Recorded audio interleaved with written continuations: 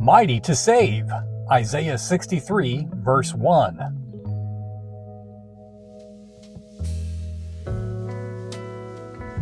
By the words to save, we understand the whole of the great work of salvation, from the first holy desire onward to complete sanctification.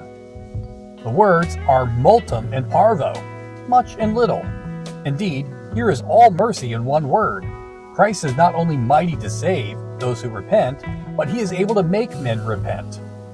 He will carry those to heaven who believe, but he is, moreover, mighty to give men new hearts and to work faith in them. He is mighty to make the man who hates holiness love it, and to constrain the despiser of his name to bend the knee before him. And this is not all the meaning, for the divine power is equally seen in the afterwork. The life of a believer is a series of miracles wrought by the mighty God. The bush burns but is not consumed. He is mighty to keep his people holy after he has made them so, and to preserve them in his fear and love until he consummates their spiritual existence in heaven.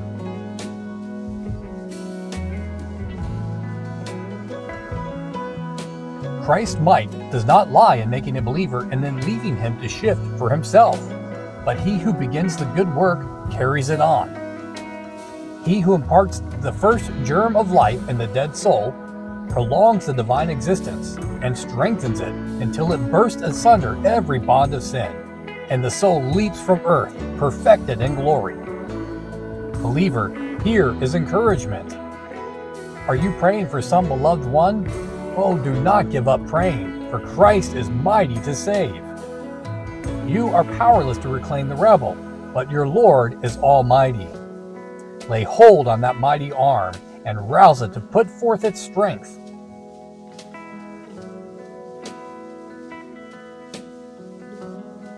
Does your own case bother you? Fear not, for his strength is sufficient for you. Whether to begin with others or to carry on the work in you, Jesus is mighty to save the best proof of which lies in the fact that he has saved you. What a thousand mercies that you have not found him mighty to destroy.